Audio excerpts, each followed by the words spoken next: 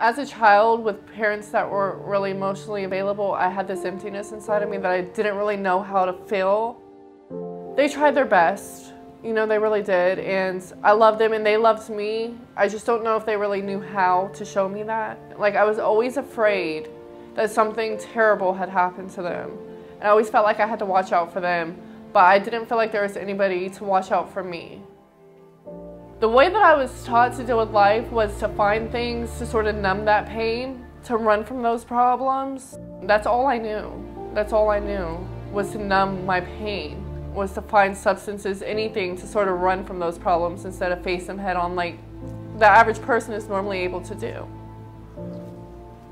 I felt that I was hopeless, that I would never amount to anything, Families First, the staff there, they told me that that wasn't the case, that I was so capable and that they were so proud of me. They put this feeling in me that I hadn't known before.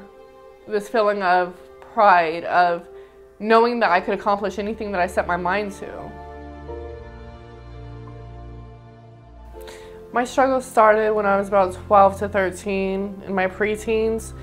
My parents were both in active addiction, so that's really what led to it was just being raised around it and in that environment. First time I sought help, I was about 18. I was pregnant with my son. That was the reason that I sought help. Um, I couldn't really quit using, and I knew that I was, it was an extreme case and that I had to do something. I had created such wreckage in my past with legal issues with my son at that time who was two.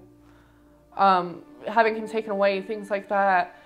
I had felonies i had charges i had things that i felt like made me feel hopeless. You know like i had no future like these things were going to be held against me. Families first came in they helped me they taught they gave me stable housing first i felt secure. They showed up with me to my court appearances and I didn't feel judged like some people may have. I felt like I had a friend there. I felt like I had somebody who had my back.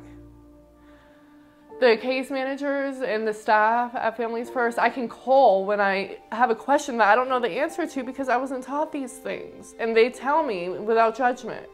I was sick. I didn't know how to make these decisions on my own. I needed them to help me make these decisions. I needed them to teach me how to be a parent, how to be a productive adult in society. And these are the things that they've taught me.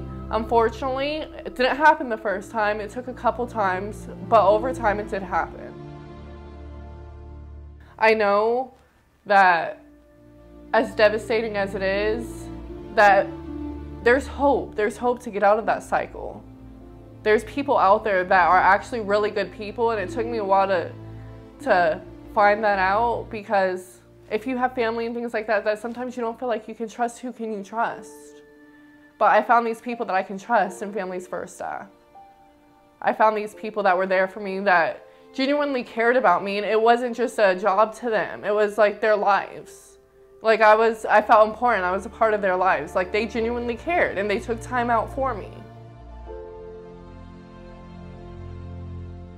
My goals in five years is to have completed college, be in the field that I want to be in, be a therapist at a treatment center, have stable housing or at least have saved up to where I'm headed in that direction, have worked on my credit, have savings and things like that just to make sure that me and Justin are good.